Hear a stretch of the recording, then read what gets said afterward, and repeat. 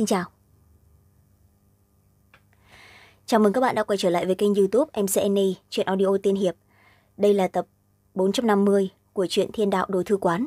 Mong rằng các bạn sẽ có phút giây vui vẻ khi nghe chuyện.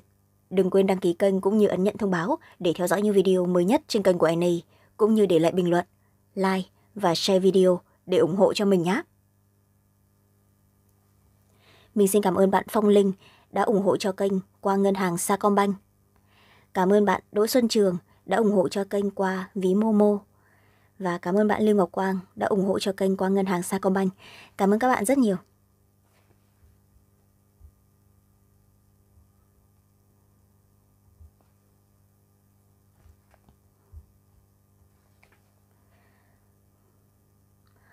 Chương bốn nghìn hai trăm bốn bốn, khe núi chỗ sâu. Dùng sức vò đầu nhìn thật kỹ lại lúc này mới phát hiện địa tạng linh dịch trong lòng bàn tay kèm theo màng mỏng xuất hiện khe hở không ngừng bốc hơi ra bên ngoài. Cũng giống như vách ngăn chính là dùng để bảo vệ lực lượng không tán loạn. Hiện tại gặp phải phá hoại lại không cách nào có thể duy trì được linh dịch ổn định. Linh khí tán tới chỗ nào vậy? Vẻ mặt lo lắng muốn nhìn một chút xem có thể thu hồi lại linh khí sắp tán giật này hay không. Xem xét một chút kìm lòng không được lảo đảo chỉ thấy bất luận là vách ngăn hay linh khí đều đã bị thanh niên ngồi cách đó không xa hấp thu hết, một chút không hề bỏ qua. Những linh khí này mình cũng không thể nào hấp thu được, vậy mà đối phương nhẹ nhóm hấp thu. Làm sao làm được? Tức đến nỗi nghiến rằng nghiến lợi, tìm hộp ngọc bỏ linh dịch vào. Bố trí phong ấn, lúc này mới ngưng lại tán giật. Nổi giận đùng đùng nhìn về phía đối phương. Vị bằng hữu này, ân tình ra tay ban tặng đan dược, tại hạ ghi nhớ trong lòng nhưng mà ngươi hấp thu sạch sẽ linh khí bên trong địa tạng linh dịch này là có ý gì đây? Để ta làm sao có thể hiến tế cho đế quân được? Tuy rằng cảm ơn, nhưng mà người hấp thu hết đồ vật, vậy thì chúng ta tới đây để làm cái gì chứ? Ta đáp ứng cho mọi người chỗ tốt, lại là liều sống liều chết, suýt một chút nữa thì teo ở chỗ này rồi. Người lại còn trực tiếp hái thành quả thắng lợi của ta. Đâu có tốt. Thấy đối phương nổi giận, trương huyền hơi sửng sốt, sau đó nhìn về phía hộp ngọc của đối phương. Lúc này mới phát hiện ra linh dịch mười không còn một, cả người lại ngẩn ra cúi đầu nhìn trong cơ thể lập tức lại cứng đơ. Tu vi của ta đột phá phong vương. Chuyện này xảy ra từ khi nào chứ? Mặc dù chỉ là phong vương sơ kỳ nhưng mà chân khí lại thực sự đột phá. Chỉ là làm sao một chút lại cũng không hề phát hiện ra. Trong lúc mà hắn vô tình hấp thu địa tạng linh dịch sắp tán phát đến bên trong không khí. Ta thực sự chỉ là tới đây hấp thu linh hồn lực thôi đâu phải là muốn hấp thu linh dịch của ngươi biết thực sự bây giờ nói như vậy đoán chừng đối phương sẽ đánh chết mình mất. Trương huyền xấu hổ lại nói. Ờ vậy điều này ra ngoài trước đã rồi nói sau. Ta lại sợ rằng bọn họ chịu không nổi nữa. Ngao phong quay đầu nhìn quả nhiên thấy bên ngoài màn ánh sáng rất nhiều thần vương đã không sai biệt lắm đến cuối cùng tất cả lại gánh vác không được. Địa tạng linh dịch đã bị lấy huyễn linh phía bên ngoài lại càng thêm điên cuồng tấn công lại càng thêm hùng mãnh. Mười một vị thần vương hầu như toàn bộ trọng thương lại không nghĩ tới biện pháp trốn được khả năng sẽ bị toàn quân bị diệt. Biết đối phương nói không sai ngao phong biết lúc này xác thực không phải là thời điểm để hỏi thăm. Hắn cắn rằng thân thể nhảy lên chui ra bên ngoài lần nữa thuế biến thành cự long bao phủ mọi người bên trong cấp tốc phóng ra bên ngoài. Biết thanh niên trong vách ngăn này thủ đoạn còn vượt xa cả mình vậy cho nên hắn không muốn mang theo nữa. Vậy chúng ta sẽ chở ngươi bên ngoài. Mọi người đã đi âm thanh chuyển tới trương huyền lắc đầu, không nói thêm một lời, tiếp tục hấp thu linh hồn lực tinh thuần trong vách ngăn. Sau năm phút, vách ngăn đã bị hấp thu sạch sẽ. Lúc này thực lực của phân thân cũng đã đạt tới thần vương đỉnh phong. Sức chiến đấu của hắn so với thần vương phong hào phổ thông chỉ mạnh hơn chứ không yếu. Không còn vách ngăn bảo vệ, vô số huyễn linh vây quanh. Trương huyền lại nắm lấy xích tiêu kiếm trong lòng bàn tay, nhẹ nhàng vung lên, giết ra cả một con đường. Vừa định đi ra ngoài, đột nhiên ngưng chân lại lại đi xem trong khe núi đó lại có linh dịch khác hay không? Dù sao thì cũng đã tới. Ngộ nhớ còn có những loại linh dịch khác có lẽ có thể để cho tu vi của mình đột phá phong vương đỉnh phong. Thân thể vụt qua ngụy trang thành chi khí quanh quẩn. Sau một khắc khi tức hoàn toàn giống với huyễn linh tứ phía. Vừa mới bắt đầu huyễn linh vẫn không ngừng vây công. Một lát sau đã ngưng lại trở nên có hơi một chút ngỡ ngàng. Thảo mộc chi linh không có trải qua văn hóa nhân loại hùn đúc. Đó chỉ là một loại ý niệm ít ỏi thiếu năng lực chủ động phân tích. Trương huyền ngụy trang thiên y vô phùng cho dù là bọn chúng cũng lại phân biệt được không rõ. Lệnh phù này ngụy trang thực sự là quá mạnh mẽ. Thấy huyễn linh vẫn có thể ngụy trang được hơn nữa để cho chúng không thể nào phát hiện ra. Trương huyền nhịn không được cảm khái. Thân thể vụt qua thẳng tắp bay vào bên trong khe núi. Nơi này có thể sinh ra bảo vật nhiều như mây khẳng định phải vẫn còn nữa. Kèm theo một đường ống xuống dưới số lượng huyễn linh dần dần đã giảm bớt. Đi về phía trước một hồi trường huyền đột nhiên lại nhíu mày ngừng lại. Khi tức trước mắt cho hắn một loại cảm giác cực kỳ quen thuộc. Hơi có một chút giống với khi trước xuống hố sâu dưới linh nguyên thiên. Nó có lực lượng ma diệt chân khí thiên đạo. Kỳ lạ. Tiếp tục đi xuống kèm theo càng sâu loại khí tức đó càng ngày càng nồng đậm. Dĩ nhiên đến tình trạng thần vương phong hào cũng khó có thể chống lại được chân khí thiên nhược hữu tình tán di bên trong cơ thể, lúc này mới không bị ảnh hưởng. Phi hành hơn m phút, cuối cùng đã tới chỗ này. Đây là dưới đáy, mau chóng nhìn xuống, trái tim trương huyền bỗng nhiên nhảy rực dưới cùng chính là một mảnh đất trống rất lớn, diện tích là chừng mấy vạn mẫu. Ở phía trên, thực vật cái gì cũng không có, chỉ có đúng một hố sâu to lớn. Đứng ở bên trong hầm không nhìn thấy gì, nhưng mà đứng ở chỗ cao liền đã có thể rõ ràng nhìn thấy, đó là một trường ấn to lớn đây là đế quân lưu lại sao? Lông mày trương huyền nhăn lại. Trường ấn trước mắt lấy lực lượng của hắn khẳng định làm không được. Vậy thì cũng chỉ có đúng một loại khả năng đó chính là do đế quân lưu lại. Nhưng chỉ là đế quân không phải không cách nào có thể tới chỗ này sao? Vậy trường ấn đó từ đâu mà tới? Trên không trung thần giới có phải là có người nào đó đại chiến tạo ra? Nhìn thấy trường ấn to lớn trước mắt một ý nghĩ của hắn xông ra. Thủy triều hải thoạt nhìn tựa như là ở trên không trung thần giới thiếu hụt ra một khối tạo thành, hố sâu dưới linh nguyên thành. Suy nghĩ một chút, cũng giống như là hơi có chút giống với cái thủ ấn này. Có phải là do hai vị đế quân đại chiến mà lưu lại không? Cuối cùng lại đưa tới tiểu hoàng kê vẫn lạc. Đến bây giờ trí nhớ của nó không thể nào khôi phục lại được. Nhưng chỉ là, nếu như mà khi trước đại chiến chính là tiểu hoàng kê vậy lấy thực lực của nó, lạc nhược hy chắc chắn có thể nhẹ nhõm mà ngăn cản. Nhưng tại sao lại không làm? Hơn bốn mươi năm trôi qua, tiếp cận là khoảng năm mươi năm, thần giới, đến tôi cũng đã xảy ra chuyện gì? Tại sao thiên đạo rời khỏi thần giới, chia ra thiên đạo hữu tự và thiên đạo hữu khuyết, sau đó rơi vào trên người khổng sư vào mình? Liên tiếp đặt nghi vấn để trương huyền càng ngày càng hồ đồ. Dọc theo trường ấn bay qua một vòng, cũng lại không phát hiện ra địa tạng linh dịch nào dư thừa cũng lại chẳng phát giác ra có một chỗ nào đặc thù khác. Trương huyền đành phải bất đắc dĩ ra ngoài. Lần này đến đây, tuy rằng không để chân khí đến phong vương đỉnh phong, nhưng mà đột phá phong vương, linh hồn càng ngày càng trở nên cường đại. Khoảng cách đột phá đế quân đúng là không xa nữa. Nói tóm lại, thu hoạch tương đối là khá. Duy nhất thiếu hụt chính là làm sao đối mặt với ngao phong thần vương. Đối phương tâm tâm niệm niệm linh dịch, khi trước vô tình hấp thu đến chín phần m của hắn, thực sự bây giờ quá là xấu hổ à ừ. Thôi được rồi. Thực sự nếu như không được, thì thu hắn làm đệ tử đấy. Tuy rằng hắn thoạt nhìn cũng lại không thông minh cho lắm. Dầu dĩ nửa ngày, trường huyền ngẫm nghĩ. Mặc dù đối phương thoạt nhìn chỉ biết dùng mỗi man lực thôi, thu hắn làm đệ tử cũng coi như là mình làm ra nhượng bộ lớn nhất với hắn rồi. Hết chương. Chương bốn nghìn hai trăm bốn mươi năm hồ kiêu có quyết định, không giàu dĩ nữa, hắn xoay người ra ngoài. Đã có lệnh phù ngụy trang, huyễn linh nóng nảy cũng không tiến hành công kích hắn. Rất mau, hắn đã trở lại bên ngoài núi rừng. Vừa định nhìn thấy ngao phong, lại phải nói thế nào, để cho đối phương vui vẻ một chút, liền cảm nhận ra được, ở trên không, có một loại lực lượng nóng nảy khuấy động. Ngẩng đầu nhìn lại, ngay sau đó nhìn thấy ngao phong thuế biến thành kim long, đang cùng với một mãnh hổ to lớn ở trên không trung kịch chiến. ngao phong mấy ngày rồi không gặp tại sao ngươi lại yếu thành như vậy chứ? Ta khuyên ngươi vẫn là ngoan ngoãn nhận thua đi miễn cho mất mặt xấu hổ. Mãnh hổ lại cười ha ha. Hai cỗ lực lượng ở trên bầu trời không ngừng nhộn nhạo uốn lượn như pháo hoa sáng tối chập trờn thần vương phong hào của canh kim thiên sao? Trương huyền cau mày. Đầu mãnh hổ này không có gì bất ngờ xảy ra vậy thì hẳn là ở canh kim thiên phong hào chỉ là chẳng biết tại sao hai người này lại đối đầu với nhau. Muốn ta nhận thua sao? Đừng có mơ. Ngao phong gào lên một cái dường như là sử dụng bí pháp nào đó toàn thân chuyển hồng lần nữa vào tới phía đối phương.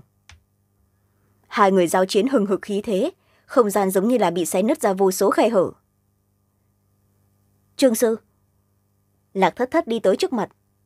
Biết vì trước mắt này phải có chuyện đi làm cho nên không cản trở vừa rồi cũng lại không hề đi theo cùng với ngao phong rời khỏi khe núi. Đây là chuyện gì vậy? Tại sao tự nhiên lại đánh nhau vậy? Trương huyền hỏi. Chúng ta vừa đi ra liền đã bị hổ kiêu thần vương phong hào của canh kim thiên ngăn chặn. Hắn hẳn là cũng biết chỗ này có địa tạng linh dịch cố ý chờ đợi đám người ngao phong thần vương phong hào tiến vào bên trong. Sau đó họ sẽ trọng thương hắn mới tới cướp đoạt.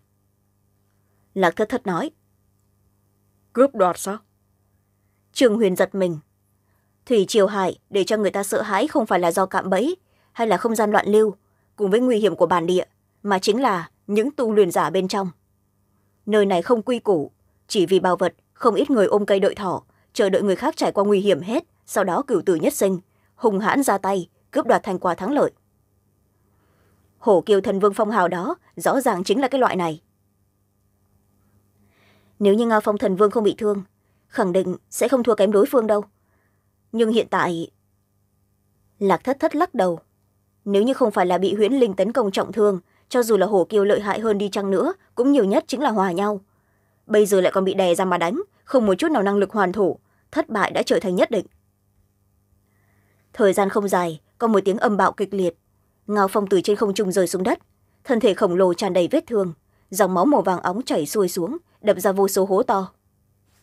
Chân trừ một lát, trương huyền thu thập lại hết lòng huyết long huyết của thần vương phong hào lấy ra bán mà nói giá cả đúng là không rẻ á.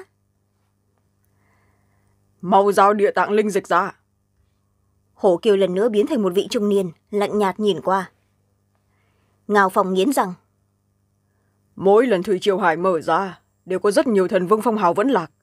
Ngươi đừng có không biết tốt xấu. Hổ kiều hừ lạnh tiến về phía trước một bước mặt đất không ngừng lay động biết đối phương vị bảo tàng thực sự lại dám hạ ra sát thủ. Ngao phong rơi vào thế đường cùng đành phải lấy linh dịch đưa tới. Mở hộp ngọc ra liếc mắt nhìn hổ kiều lại cau mày. Tại sao lại nhỏ như vậy? Đã có thể sinh ra rất nhiều huyễn linh như thế kia tình huống bình thường địa tạng linh dịch chắc chắn phải số lượng càng nhiều mới đúng. Tại sao bây giờ như là một hạt đậu nành vậy? Chắc chắn là do tán giật.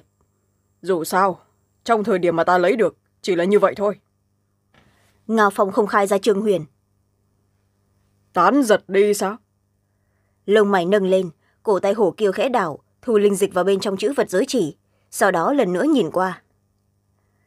Nếu như chỉ còn dư lại một chút đó liền lấy đồ vật trên người ngươi có được mà đền bù. Nói xong bàn tay ngoắc ngoắc chữ vật giới chỉ trên ngón tay ngao phong bay tới. Bàn tay nhẹ nhàng phất ra một cái hắn cúi đầu nhìn. Một lát sau khóe miệng lại nâng lên. Cũng không tệ đâu. Xem ra sau khi đi vào bên trong thủy triều hải người cũng đâu có nhàn dối những thứ này tất thầy thuộc về ta. Nói xong hắn nắm giữ trong lòng bàn tay. Nếu như cướp một lần tự nhiên cái gì cũng không thể nào để lại được. Mặc dù đồ vật bên trong chữ vật giới chỉ của đối phương giá trị không bằng với địa tạng linh dịch.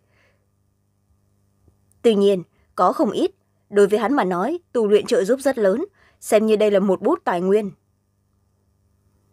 Thấy tất cả mọi thứ đã bị đối phương cướp mất, ngao phong lại cắn chặt răng. Hắn muốn nói điều gì, nhưng nói không ra lời. Nhiều lần linh khí thủy triều đều sẽ có không ít thần vương phong hào vẫn lạc.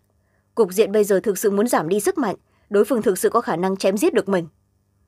Vậy nên chỉ có thể nhẫn. Lưu được núi xanh, không sợ không có củi đốt các người nữa giao đồ vật ra đây. Cướp xong ngao phong hổ kiều lại nhìn tất cả những thần vương khác. Đối mặt với ngao phong ta kiên kỵ vân ly thiên bao che khuyết điểm không có lợi ích gì to lớn thì lại chẳng dám giết chết người. Nhưng các ngươi thì lại không giống. Không muốn bỏ mạng ở chỗ này động tác mau chóng lên một chút. Thành âm của hắn mang theo đầy sự uy hiếp. Vân ly thiên từ trước tới nay luôn luôn bao che khuyết điểm ngao phong lại càng là thần vương phong hào. Thần vương phong hào, chỗ tốt đủ lớn, có thể sẽ ra tay chém giết, nhưng đã ngoan ngoãn giao ra hết rồi, vậy tự nhiên không cần thiết phải đuổi tận giết tuyệt. Ngao phong như vậy, nhưng mà rất nhiều thần vương khác đúng là không giống.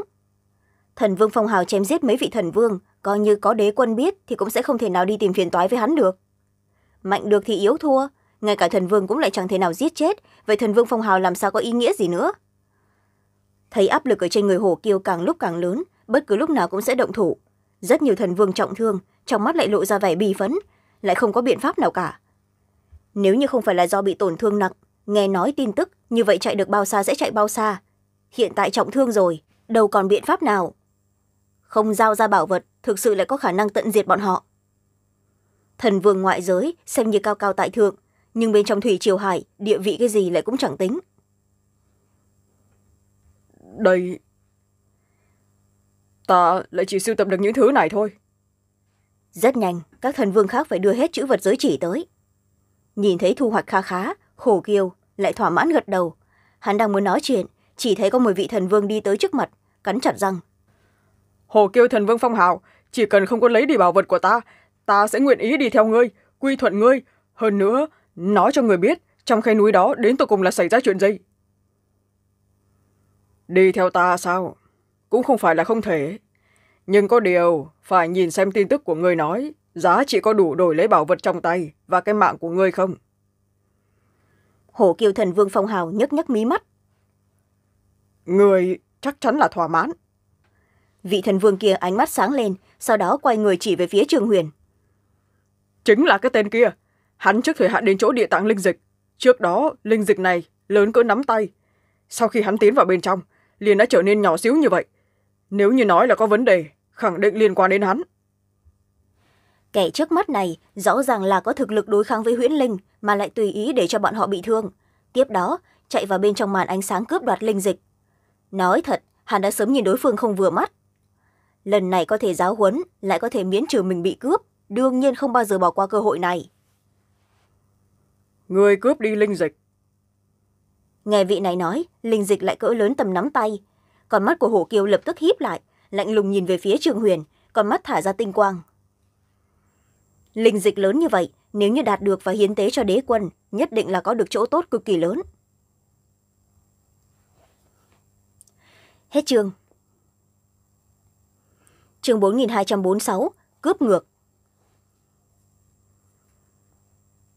Lần này, ta cùng với ngao phong thần vương phong hào tới đây tầm bảo. Thực sự đều có ý định muốn nhúng chàm địa tạng linh dịch xuất hiện cái loại tình huống đó chỉ là hơi có chút ngoài ý muốn. Thấy ngao phong nằm dưới đất cũng nhìn qua hắn trường huyền mặt mũi xấu hổ. Tuy rằng nghĩ kỹ lời giải thích nhưng mà chân chính đối mặt vẫn hơi có một chút ngượng ngùng. Dù sao sai lầm nằm ở phía hắn. Thấy hắn đã thừa nhận hồ kiều lại cười ha ha một tiếng. Xem ra lần này đúng là kiếm lời lớn. Ánh mắt bằng lãnh mang theo vẻ không cho cự tuyệt mau máu ngoan ngoãn giao ra linh dịch. Ta có thể tha cái chết cho ngươi. Uhm, nhưng mà không giao ra được. Trương huyền lắc đầu. Hấp thu xong rồi làm sao mà giao ra? Bản tọa nói chuyện đàng hoàng với ngươi là do hôm nay ta tâm tình tốt. Nếu như ngươi không biết tốt xấu giết chết ngươi rồi ta vẫn có thể lấy lại được linh dịch. Thấy cái trước mắt này đối mặt với uy hiếp không hề kinh sợ hổ kiều lại giận quá mà hóa cười hắn nhướng mày bàn tay vỗ xuống. Khí lưu khuấy động trưởng lực giống như mưa bão tùy ý bao phủ tứ phương bên trong. Thấy hắn ra tay vị thần vương vừa rồi muốn làm tùy tùng đó thở ra một hơi. Hắn lại cười trên nỗi đau của người khác. Đúng là không biết thời thế. Lại còn tưởng rằng nơi này là thần giới sao? Tất cả mọi người lại tuân thủ quy củ. Nơi này gặp được nguy hiểm không có mau chóng mà nhận thua. Ngươi lại còn giả vờ giả vịt. Không phải là tự tìm cái chết thì là gì đang cảm thấy đối phương chắc chắn sẽ đi đời nhà ma. Chỉ thấy cái tên này tràn đầy bất đắc dĩ lắc đầu. Cần gì chứ? Tội gì ngươi phải khổ như vậy? Trương huyền than thở. Cùng với những thần vương này chỉ là bèo nước gặp nhau. Mọi người cùng nhau tìm kiếm bảo vật không có giao tình gì quá sâu. Người cướp bọn họ ta thì cùng lắm mở một con mắt nhắm một con mắt giả bộ như là không thấy. Nhưng mà tự nhiên lại tới cướp ta hơn nữa lại còn động thủ hơi có một chút quá đáng rồi nha cong ngón tay búng ra một cái. Trường ấn đầy trời giống như thủy tinh vỡ vụn. Hổ kiều vẫn còn chưa kịp phản ứng liền đã bị đánh trúng. Hắn bay ra bên ngoài mấy chục mét nặng nề rơi xuống đất từng ngụm từng ngụm lại hộc ra máu tươi. Hả? Công kích của hồ kiêu thần vương phong hào chỉ bị một cái đánh hơn nữa lại còn bay xa như vậy. Đến tột cùng là xảy ra chuyện gì vậy? Tất cả thần vương run lên tràn đầy kinh hoàng ngay cả ngao phong cũng lại chừng lớn con mắt, run run lẩy bẩy. Từ xa lại nhìn không giống với cự long, ngược lại, giống như một con mãng xà không hề có can đảm. Cái tên này có thể bên trong huyễn linh tiến lui tự nhiên, hơn nữa phá vỡ màng mỏng đi tới trước mặt địa tạng linh dịch, là hắn biết không đơn giản. Nhưng mà tại sao lại nghĩ không ra hắn mạnh mẽ như vậy chứ? Hổ kiêu kia, cho dù là mình thời kỳ toàn thịnh, muốn vượt qua hắn cũng khá là khó. Nhưng mà lúc này ở trong tay đối phương, ngay cả một con run con dế cũng lại không sánh bằng hắn không phải chỉ là thần vương thôi sao? Dãy ruội đứng dậy, ánh mắt hồ kiều lại đỏ au như máu. Đường đường là thần vương phong hào, lại bị một cái tên thần vương bình thường đánh cho trọng thương. Đổi lại là trước kia, nghĩ cũng lại không dám nghĩ. Tuy rằng vừa rồi xuất chiêu không dùng toàn lực, nhưng mà có thể đơn giản phá vỡ trường lực của hắn như vậy. Lực lượng quá mạnh, so với mấy vị phong hào mà hắn quen biết chỉ mạnh hơn chứ không yếu. Hổ kiều hét lên một tiếng, bàn tay lại biến thành móng vuốt, lần nữa đè ép lực lượng mạnh mẽ tựa như núi lớn nghiền ép tới. Trường huyền nhíu mày đứng tại chỗ không động cũng lại không làm ra bất cứ phản kích nào. Trường lực vẫn còn chưa tới trước mặt đã tiêu tán ở trên không. Ngay sau đó có một tiếng hử lạnh vang tới. Ta vẫn còn có việc. Ngày hôm nay không tính toán với ngươi. Không khí xuất hiện từng đạo gợn sóng. Vị thần vương phong hào vừa rồi vẫn còn khí thế hùng hằng lúc này đã bay đi rất xa. Thần hình của hắn thực sự là sắp biến mất đến nơi hiển nhiên sau một chiêu liền biết cái vị trước mắt này không phải là mình có thể chống cự được. Thoáng qua một cái, sau đó xoay người muốn chạy. Thủy triều hải, ai có thể bảo vệ mệnh mình là đạt được đồ vật, người đó sẽ là người thắng. Còn cái gì mà thanh danh, sau khi ra bên ngoài rồi, dựa vào địa vị của chính mình, ai mà còn dám nói bậy chứ? Bây giờ coi như có dám mở mồm ra nói, cũng lại phải có người tin á. Trương sư. Thấy tên này chạy trốn trương huyền rõ ràng đã sớm phát hiện ra động cơ lại không thèm quan tâm. Lạc thất thất hơi sững sờ. Không sao đâu muốn đi thì cho hắn đi. Chúng ta lại cũng không bị tổn thương mà. Biết ý nghĩ của nàng trương huyền lại xua tay. Việc cấp bách chính là mau chóng tăng lên tu vi xung kích đế quân. Thần vương phong hào phổ thông đâu có tính là gì không đáng vì vậy mà lãng phí thời gian. Vậy nhưng bọn họ đã cướp đoạt đi bảo vật của ngao phong thần vương nếu như đòi về, có lẽ trước đó xấu hổ đã có thể miễn trừ được. Lạc thất thất nói, ở chung lâu như thế rồi, hắn biết được tính cách của vị trước mắt này. Ngay thẳng, kín đáo, cường nghị, nhân từ, chưa từng nguyện ý lấy đồ của người khác. Vừa rồi hắn cực kỳ xấu hổ, nhất định là bởi vì trong lúc vô tình hấp thu địa tạng linh dịch của người ta. Thời điểm không có chuyện, quả thực không tiện đối mặt với ngao phong, nhưng bây giờ cái tên này cũng bị cướp, bị đánh trong một trận lại có thể báo thù được cho hắn cướp lấy đồ vật cho về. Chuyện khi trước có lẽ có thể kết thúc mỹ mãn không cần thiết phải xấu hổ trong lòng nữa. Ánh mắt trương huyền lập tức sáng rực. Đang suy nghĩ làm sao cùng với đối phương nói thu đồ đây ứng đối ra sao khi mà đối phương hưng phấn như vậy lại còn quên mất cái này. Dựa theo phương pháp đó có thể xử lý được chắc là không cần phải thu nữa. Ai, nguy hiểm thật đó. Nghĩ đến cái này ngẩng đầu nhìn qua chỉ thấy lúc này hổ kiêu đã biến mất không thấy hình dạng. Trên không lại nhìn không thấy nửa điểm tung tích. Ai, muộn mất rồi hắn đã trốn từ xa. Lạc thất thất cười khổ. Tuy rằng thần vương phong hào không thể nào thuấn di nhưng mà tốc độ mau chóng không thua thuấn di là bao nhiêu. Đối phương bây giờ đã chạy đi đến bảy tám cái hồ hấp bây giờ ngươi đuổi theo làm sao có thể làm được? Không muộn đâu. Trương huyền lắc đầu đột nhiên lăng không trào ra một cái không gian trước mắt lập tức sụp đổ lại giống như là bị đè bẹp. Khoảng cách mấy trăm dặm trong nháy mắt trồng chất lên nhau cánh tay giống như đi tới bên ngoài mấy trăm dặm. Hả? Không thể! Hổ kiều kêu lên sau đó tự nhiên bị bắt tới nặng nề rơi xuống đất. Ngao phong nằm ở trên mặt đất lông mày nhảy loạn. Loại thủ đoạn không gian gấp bắt người này chỉ có đế quân mới có thể làm ra. Không lẽ người trước mắt này không phải là thần vương mà hắn là đế quân ngụy trang không chỉ là hắn hổ kia cũng triệt để muốn điên rồi. Vốn cho rằng hắn đã bay nửa ngày như vậy lâu như vậy thuận lợi bỏ trốn. Còn nằm mơ cũng không nghĩ tới đối phương khẽ vươn bàn tay liền đã cầm hắn trở về. Dễ dàng như là bắt một con muỗi. Vừa mới nghĩ ra người vẫn chưa thể nào đi được. Vừa rồi cướp đoạt đồ vật mau chóng toàn bộ trả trở về đi. Buông đối phương ra trương huyền thản nhiên nói. Cửu thiên phong vương lại còn thêm vừa rồi hấp thu vô số linh hồn lực hồn phách của hắn đã cường đại đến nỗi có thể tùy tiện xé rách không gian tiến hành thuấn di. Đối phương chạy trốn mặc dù là khoảng cách khá xa mắt thường không thể nào nhận ra được nhưng mà vẫn bên trong phạm vi linh hồn bao phủ. Hơi chuyển động ý nghĩ một chút đã có thể nhẹ nhõm bắt trở lại. Không tính là một việc khó. Vâng. Hổ kiều vội vã gật đầu. Có thể để cho hắn chạy trốn thời gian dài như vậy vừa ra tay đã bắt trở lại. Thực lực của vị trước mắt này có thể tuyệt đối không phải là hắn có thể chống lại được vừa rồi hắn cướp đi các loại bảo vật đều lại lấy hết ra ngoài. Sau đó hổ kiều ngẩng đầu nói. Vậy tiền bối ta đã có thể đi chưa? Đối mặt với vị trước mắt này không dám tiếp tục xưng là bản tọa. Tất cả mọi thứ trên người ngươi đưa hết ra đây. Trương huyền nói. Dù sao thì cũng là đoạt một lần còn không bằng lấy hết toàn bộ bảo vật cái tên này gian trá như vậy chắc là có không ít bảo bối đây. Hết chương. Chương bốn nghìn hai trăm bốn bảy báo tin cho triệu nhã. Vâng vâng. Không dám nói nhảm hổ kiều lại đưa tới nhẫn chữ vật giới chỉ của mình. Trương huyền xóa đi linh hồn ấn ký sau đó liếc mắt nhìn thỏa mãn gật đầu. Không hổ danh là thần vương phong hào đồ tốt của ngươi không ít tuy rằng đối diện với hiện tại của hắn tác dụng đúng là không tính quá lớn nhưng mà đối với đám người lạc thất thất tôn cường thực sự là trợ giúp rất lớn. Được rồi biến. Trương huyền khoát tay áo. Vâng đã tạ tiền bối hạ thủ lưu tình. Không dám nửa câu phí lời hổ kiêu xoay người bỏ chạy.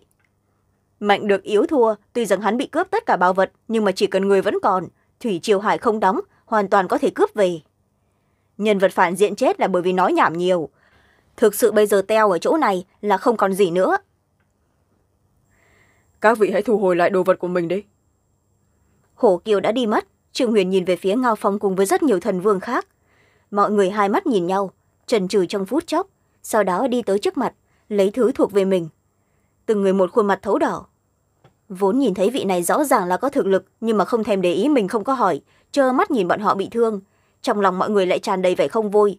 Nhưng mà lúc này cái loại ý nghĩ đó đã tan tành mây khói không còn nửa phần nào. Thực sự đúng là chỉ là bèo nước gặp nhau dựa vào cái gì người ta phải giúp mình? Lấy được bảo vật về đã là tính ân trọng như núi rồi. Đa tạ tiền bối. Nhìn bảo vật của mình mất đi mà được lại ngao phong khôi phục lại hình dạng nhân loại sau đó vội vã khom người. Không cần khách khí.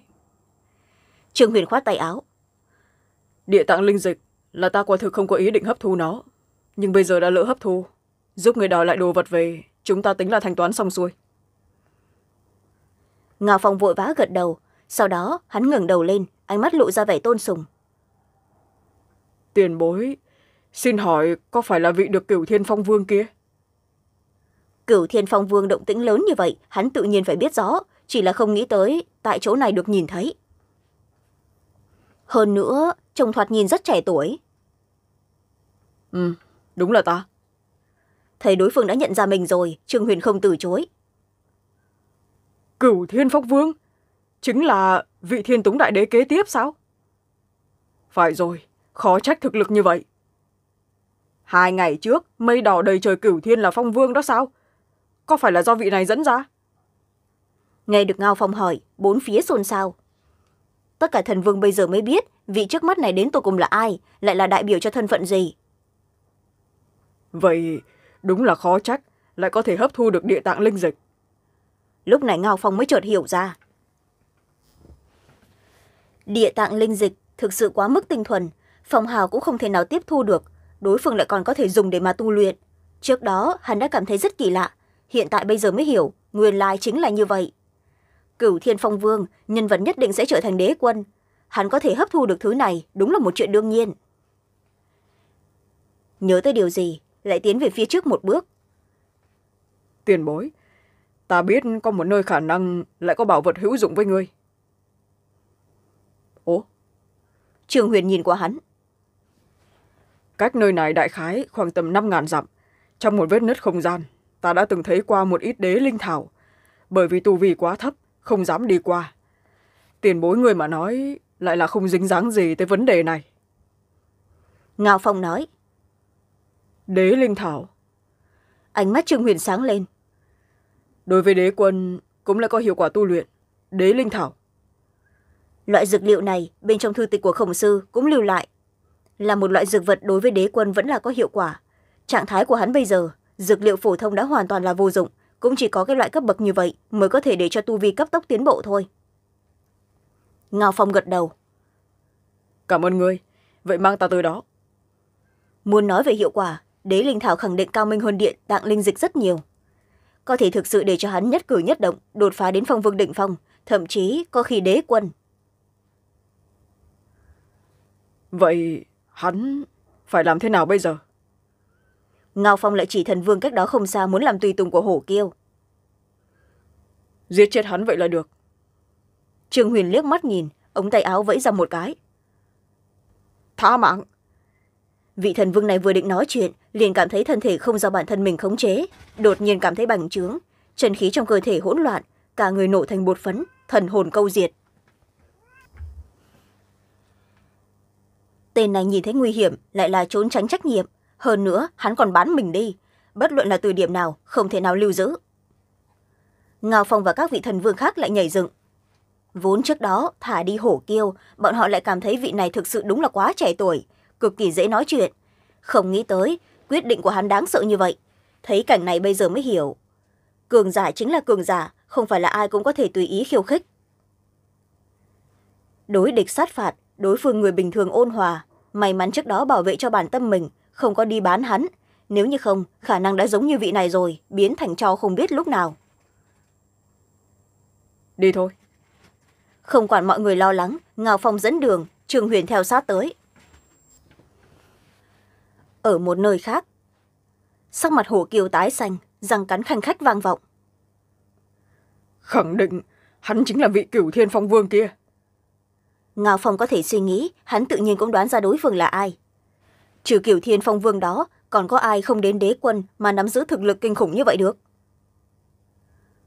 Cửu thiên phong vương là rất lợi hại nhưng mà cái này thì làm sao chứ? Đế quân tự thần bồi dưỡng triệu nhã thần vương phong hào cũng đâu có yếu hơn hắn. Trong lòng hơi động lại nhớ tới nữ tử tư thế hiền ngang kia hổ kiều siết chặt nắm đấm. Vị cửu thiên phong vương này thực lực của hắn quả thực là mạnh nhưng mà phủ mãnh đế quân tiêu phi đánh đổi to lớn bồi dưỡng ra triệu nhã phong hào cũng đâu có yếu cướp đi đồ vật không tính là gì, về sau còn có thể cướp của người khác. Nhưng mà nhận lấy khuất nhục, có lẽ triệu nhã có thể giúp hắn đi tìm trở về. Nghĩ đến điều này, không trần trừ chút nào. Cổ tay khẽ đảo, hắn lấy ra một ngọc bài đưa tin đặc thù. Đây chính là đế quần đặc biệt luyện chế bàn cho hắn, cho dù bên trong thủy triều hải cũng vẫn có thể sử dụng. Sau khi đưa tin, trời chẳng qua là hơn m phút. Không gian lay động, có một bóng người bất ngờ xuất hiện phía trước. Mặc ngân trang dáng người mỹ lệ, bao phủ bên trong khôi giáp, động lòng người không nói ra lời. Đó chính là triệu nhã. Tìm ta có chuyện gì? Nữ hài chắp tay sau lưng, mang theo bằng lãnh khó có thể tiếp xúc. Nàng đã được phù mãnh đế quân chiếu cố mới có thực lực như bây giờ. Trước khi đế quân tới đã từng nói, để cho nàng chăm sóc thần vương cùng với phong hào khác. Nguyên nhân chính là như vậy. Đối phương đưa tin, nàng không một chút nào do dự cùng với các sư đệ sư muội tách ra, sau đó chạy tới đây triệu nhã thần vương. Ta vừa bị một thần vương phong hào khác cướp đoạt. Tiêu phí tầm huyết vì đế quân chuẩn bị địa tạng linh dịch cũng đã bị người ta đoạt đi mất. Vậy mong người có thể giúp đỡ ra tay. Hổ kiều không người. Dù rằng vị trước mắt này tuổi tác ít hơn hắn rất nhiều nhưng mà thực lực bày biện ở nơi đó đâu có dám ra vẻ. Vậy ở thiên nào? Vị nào phong hào? Triệu nhã nhàn nhạt, nhạt nhìn qua không phí lời quá nhiều tên gọi là gì ta lại không biết. Có điều, hắn chắc là vị cửu thiên phong hào kia. Hồ kiều nói, đối phương tên gì, hắn thực sự lại không biết rõ, chỉ có thể suy đoán ra hắn là ai thôi. Cửu thiên phong vương, ánh mắt triệu nhã sáng lên. Trước khi tới, rất nhiều đế quân lặp đi lặp lại bàn giao, gặp được vị này nhất định phải cẩn thận. Nàng vẫn muốn gặp gỡ đối phương xem. Không nghĩ tới, người này vẫn còn chưa thấy mặt, đã tước đoạt người bên nàng rồi lá gan thật lớn. Vậy không lẽ người thực sự cho rằng triệu nhã ta chính là bùn nặn sao? Hết chương. Chương bốn nghìn hai trăm bốn tám có thể đổi ý không? Hắn ở chỗ nào? Trong lòng dâng lên một cỗ ngạo khí đôi mắt của triệu nhã hơi nheo lại. Phía khe núi chính bắc. Hồ kiều chỉ chỉ dẫn đường đi. Nhưng thực lực của hắn quá mạnh ta lại sợ rằng đi qua sẽ gặp nguy hiểm. Hổ kiêu run lên. Đã có ta ở chỗ này ai cũng không thể nào gây tổn thương cho ngươi dù rằng chỉ là một cọng tóc gáy trong ánh mắt triệu nhã lộ ra vẻ lạnh lùng. Lúc này hồ kiều mới thở ra một hơi mặt mũi cực kỳ hưng phấn đi phía trước dẫn đường. Trong chốc lát trở lại địa phương phát ra địa tạng linh dịch tại chỗ chỉ còn lại các thần vương trước đó bị thương. Thấy hắn trở về từng người một lại tràn đầy kinh hoàng. Vị cửu thiên phong vương kia đã đi chỗ nào rồi? Không thèm để ý biểu lộ của họ triệu nhã nhàn nhạt, nhạt nhìn qua. Hắn đã đi cùng với ngao phong thần vương chúng ta lại không rõ. Mọi người mở miệng. Đâu phải là không hỗ trợ giấu giếm mà là trương huyền cùng với ngao phong đối thoại bọn họ không nghe được không biết là cụ thể đi đâu thời gian không dài lắm. Chắc là đi không được bao xa. Không nghĩ tới như vậy mà đã rời đi mất. Hổ kiều tràn đầy sốt ruột.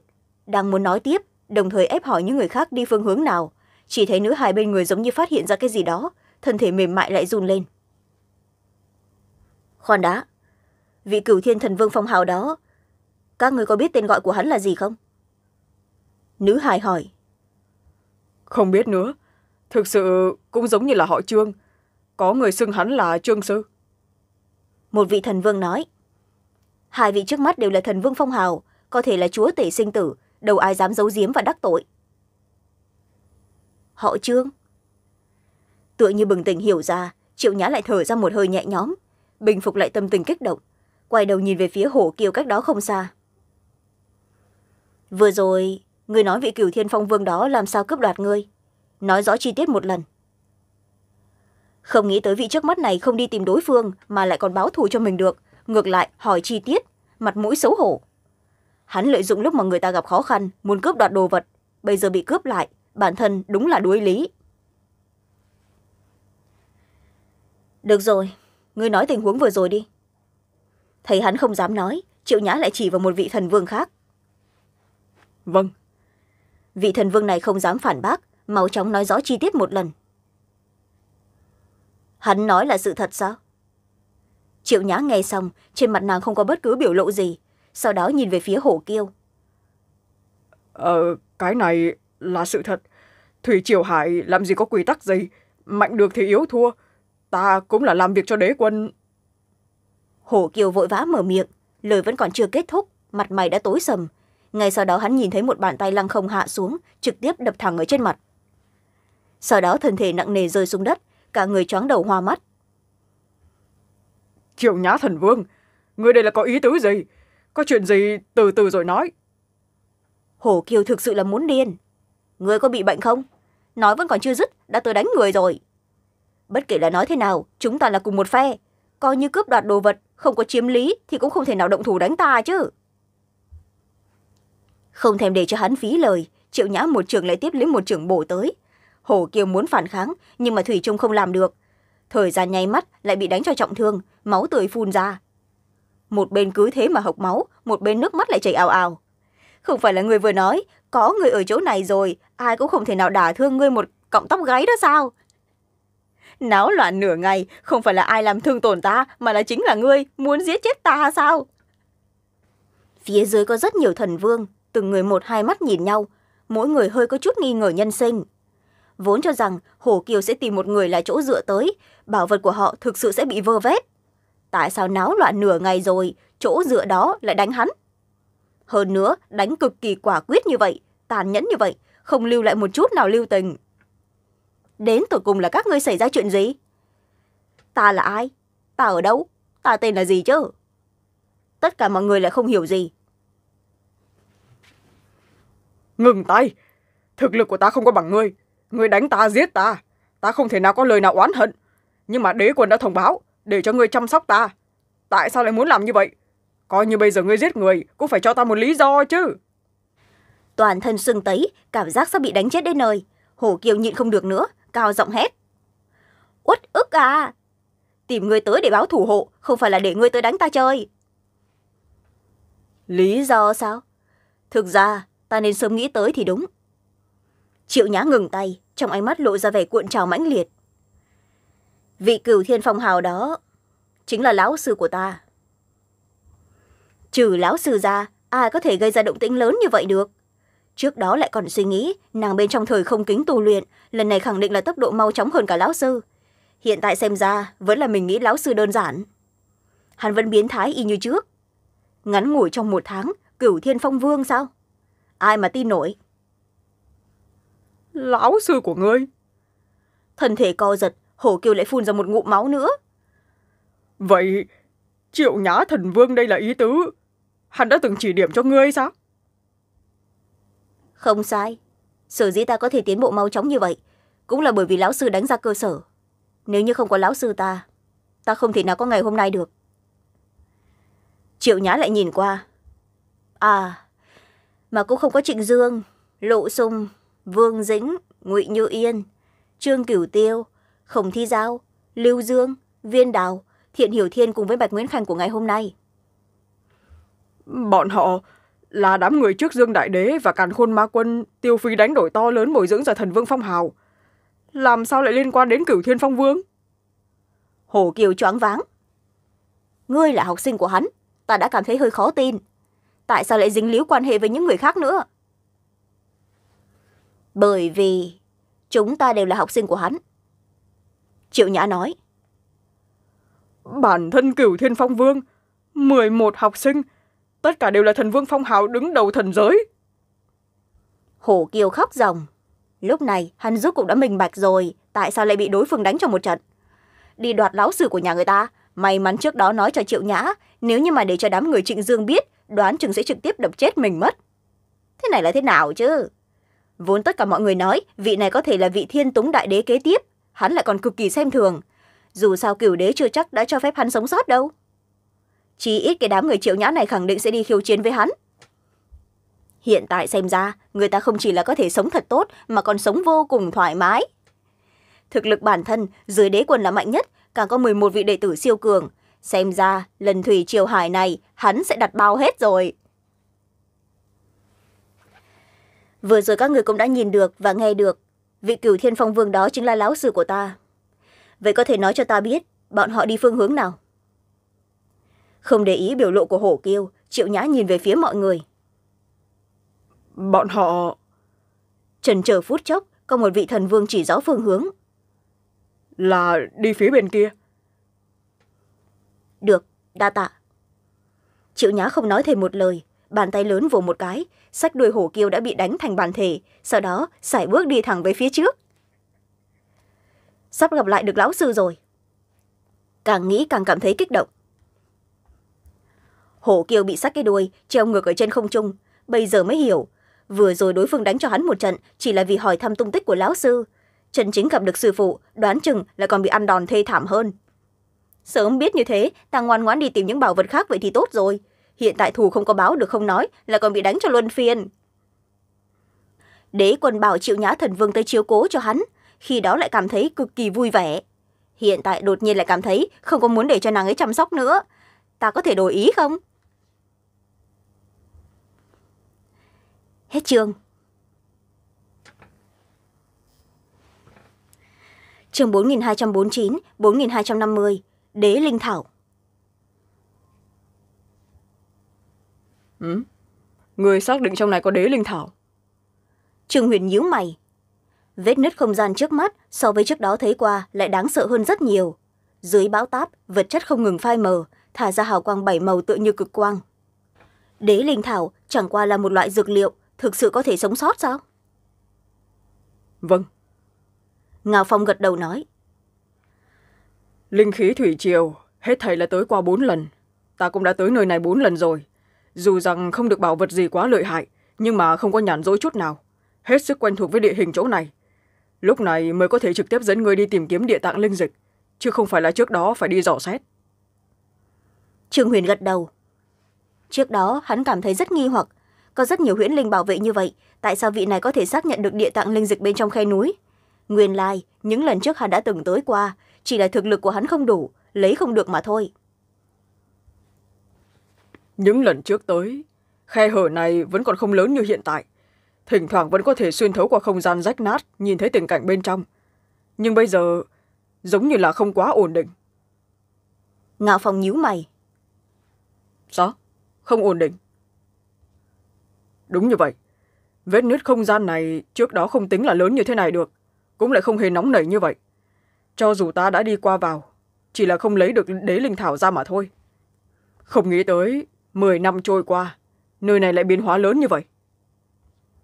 Ngao phong nói. Ừ. Trương huyền cũng cau mày.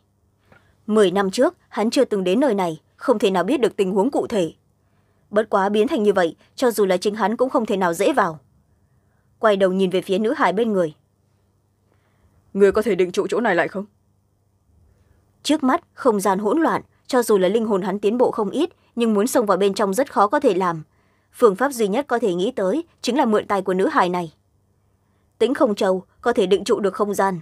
Dù rằng khí lưu trước mắt cực kỳ hỗn loạn hẳn là cũng phải có thể làm ra. Cũng có thể nhưng mà chẳng qua thời gian sẽ là không tính quá dài. Lạc thất thất liếc mắt nhìn. Vậy đại khái là bao lâu? Nhiều nhất là hai mươi hô hấp. Trong lòng lạc thất thất tính toán. Như vậy là đủ trương huyền khẽ mỉm cười. Ta sẽ mau chóng tranh thủ trong hai mươi hô hấp đó mang đế linh thảo đi ra. Vậy được. Lạc thất thất lên tiếng không muốn phí lời. Thân thể nhảy lên đi tới trước vết nứt không gian. Sau đó nhẹ nhàng vụt qua thuế biến thành một hạt trâu tròn xoay thành ngầm trầm thấp vang tới. Trước đó vết nứt không gian khí lưu cuồn cuộn lập tức được ổn định. Quang mang thất thải cũng giống như được dừng lại trên không trung không hề nhúc nhích đây là ngà phòng nháy nháy con mắt, suýt một chút nữa thì sợ tới mức học cả máu. Trước đó vẫn cho rằng cô gái này chỉ là một thần vương phổ thông, không có đáng để mà nhìn vào trong mắt. Hẳn là đi theo sau lưng cửu thiên phong vương. Đánh đấm giả bộ cho có khí thế thôi. Không nghĩ tới, nàng ấy vừa ra tay lại mạnh mẽ như vậy. Mặc dù hắn cũng là thần vương phong hào, cũng lại chẳng làm ra được điểm này. Vậy nói cách khác, chính diện đối chiến, cho dù đối phương chỉ là một thần vương phổ thông, bản thân mình chưa chắc đã phải là đối thủ. Không hổ là cửu thiên phong vương, bên cạnh tùy ý lấy một người cũng không phải là đơn giản như vậy. Thấy lạc thất thất định trụ không gian, trương huyền thẳng tắp lọt vào bên trong khe hở. Thất thải quang mang dừng lại xẹt qua trước mắt, ánh mắt trương huyền giống như thiểm điện, nhìn lại tứ phía. Khe hở này, ngay bên trên phiến đại lục, vốn chỉ là một địa phương nguy hiểm rất bình thường, nhưng hiện tại xem ra tự hồ muốn xé rách toàn bộ cái đại lục này ra. Khoan đó không đúng. Vẫn là cỗ lực lượng đó phi hành một hồi, lông mày trương huyền nhíu lại. Chỗ sâu nhất phun trào ra một cỗ lực lượng khổng lồ, cũng giống như là tăng lớn khe hở, mà cỗ lực lượng này là hoàn toàn tương đồng với khe núi và bên trong hố sâu dưới linh nguyên thành. Trần khí thiên nhược hữu tình bảo vệ cho thân thể, trương huyền ngừng chân. Cách đó không xa, trong khe hở đen tối như mực, quả nhiên thấy được ba cây đế linh thảo đang lơ lửng trong đó, cũng giống như là bất cứ lúc nào cũng sẽ bị đêm tối này nuốt mất. Từng đạo không gian vỡ vụn lướt qua, liền bị đế linh thảo thôn phệ cảnh lá trở nên càng thêm yêu diễm. Truyền thuyết đế linh thảo hấp thu vết nứt không gian mà sinh tồn ẩn chứa lực lượng không gian rất mạnh. Quả nhiên đúng là thật. Ánh mắt trương huyền rất nghiêm nghị. Đế linh thảo cũng không phải là thôn phệ linh khí được sống sót mà là một loại dược vật đặc thù ký sinh bên trong không gian lấy thôn phệ không gian để mà sinh tồn. Cảm giác những đế linh thảo này là một người cố ý gieo xuống dùng để vững chắc vết rách này nhìn một hồi, trương huyền cau mày lại. Khe hở này là do lực lượng đặc thù có thể hóa giải thiên đạo chân khí càng ra, không ngừng xé rách ra phía ngoài. Dưới tình huống bình thường, càng lúc sẽ càng lớn. Không chống cự được bao nhiêu, nó sẽ xé rách đại lục này thành hai, thậm chí ngang qua thủy triều hải. Nhưng ba cây đế linh thảo này, thoạt nhìn đang hấp thu không gian rách nát mà sinh trưởng, nhưng mà nó cũng đang phá hoại. Trên thực tế, dễ cây gắt cao tụ lại trong không gian, hơn nữa hấp thu bộ phận vỡ vụn, để cho khe hở này không lớn thêm được phá hoại không triệt để như vậy. Nếu như nói thứ này là trong lúc vô tình sinh ra thì làm sao mà trùng hợp như vậy được? Nhưng muốn nói có người cố ý gieo xuống đế quân không cách nào có thể đi vào bên trong thủy triều hải. Thần vương phong hào phổ thông chắc chắn cũng lại làm không được. Đang suy tư liền cảm thấy khe hở phát ra một tiếng vang rất nặng nề. Dường như lạc thất thất lại không kiên trì được. Không thể chậm chế thần sắc trương huyền cứng lại lạc thất thất chỉ có thể kiên trì được hai mươi hô hấp. Đi vào đến bây giờ, thời gian đã qua đến phân nửa, nhất định phải mau chóng lựa chọn. Đi vào nơi này mục đích là mang theo ba cây đế linh thảo rời đi, nhưng mà tận mắt trông thấy mới phát hiện ra, bọn chúng khống chế khe hở này, sau đó, để cho nó không có biến lớn hơn. Một khi lấy đi rồi, vết nứt không gian trước mắt nhất định bị bao phủ tứ phía. Cắt cái đại lục này ra, chắc chắn là một việc nhỏ nhất. Làm không cẩn thận, sẽ là cắt toàn bộ thủy triều hải, thậm chí thần giới cũng có thể gặp phải nguy hiểm nhưng nếu không lấy nhìn bộ dạng của đế linh thảo không thể nào kiên trì được bao lâu. Không có gì bất ngờ xảy ra nhiều nhất là một hai tháng khe hở này vẫn sẽ tăng lớn cuối cùng dẫn tới toàn bộ thủy triều hải sụp đổ. Lại có khả năng đây chính là lần linh khí thủy triều cuối cùng. Một ý nghĩ của hắn xông ra. Trước đó hắn đã nghe những người khác nói mười năm là một lần linh khí thủy triều liền cho rằng khẳng định sẽ là một mực duy trì vì thần giới cung cấp tài nguyên để cho rất nhiều người mạnh mẽ hơn nữa. Hiện tại xem ra không đơn giản như vậy. Linh khí số lượng là nhất định. Thủy triều hải này cũng không ổn định như là trong tưởng tượng. Một khi phá hoại rồi không chỉ là linh khí thủy triều hoàn toàn sẽ biến mất thần giới này cũng sẽ là bị thương nặng. Thương vong không biết là bao nhiêu. Khó trách lạc nhược hy và khổng sư nhất định phải tranh đoạt thiên mệnh. Còn nghĩ chỉ cần không đột phá đế quân chẳng phải là không cần tranh đoạt thiên mệnh không cần phải tranh đoạt thiên đạo sẽ không xuất hiện cục diện sinh ly tử biệt sao? Bây giờ suy nghĩ lại, thực sự đúng là nông cạn. Thiên đạo vận chuyển sẽ không căn cứ theo người khôn vặt mà ngừng. Một mực không đột phá, thì chiều hải đó sẽ bị xé nứt. Thần giới xuất hiện biến cố lớn. Làm người phát ngôn của thiên đạo sẽ là đứng mũi chịu sào, nhận nguy hiểm trước nhất. Làm không cẩn thận là thân tử đạo tiêu. Nói cách khác, không tranh thiên mệnh cũng lại chẳng có phương pháp nào an nhàn. Nếu như không tranh, khả năng chết lại càng nhanh nếu như tranh, ngược lại, còn có một chút hy vọng. Hết chương. Hết tập bốn trăm năm mươi. Mong rằng các bạn đã có phút giây vui vẻ khi nghe chuyện. Đừng quên đăng ký kênh cũng như ấn nhận thông báo để theo dõi những video mới nhất trên kênh của Annie nhé. Nếu như bạn cảm thấy video hay, thì đừng tiếp một like và một share để ủng hộ cho mình nhé. Giờ tạm biệt. Hẹn gặp lại trong những tập khác của thiên đạo đối thư quán trên kênh mcna trên audio tên hiệp.